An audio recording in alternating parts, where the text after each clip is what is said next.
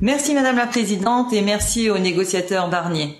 Je souhaite utiliser mon temps de parole pour parler des pêcheurs. Leur situation est plus qu'inquiétante. Je suis allée à la rencontre des pêcheurs bretons et normands qui m'ont expliqué les risques que le Brexit faisait peser euh, sur eux. Dans le nord, à Boulogne, par exemple, certains pêchent à 80% dans les eaux britanniques. S'il n'y a pas d'accord, les navires européens ne pourraient plus y accéder. Cela amènerait à un déplacement dans les eaux européennes de nombreux navires, notamment près des côtes. Cette forte concentration, mais aussi la fixation unilatérale des quotas, causera un véritable désastre écologique.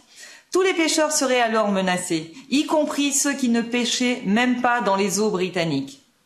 Mais un accord ne réglera pas tout. Malgré les promesses, il est clair qu'un accord se fera au prix d'une baisse importante du quota européen. Dans tous les cas, les États membres doivent donner la priorité à la protection de la petite pêche artisanale. Les baisses de quotas ne doivent pas se faire de manière uniforme pour toute la flotte. Comme le prévoit l'article 17 de la politique commune de la pêche, les États doivent utiliser des critères économiques, sociaux et environnementaux pour distribuer les autorisations de pêche.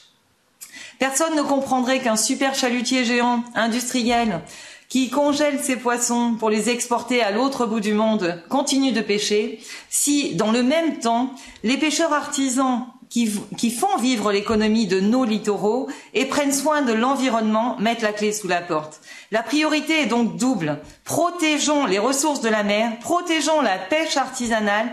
L'un ne va pas sans l'autre. Merci Madame la Présidente.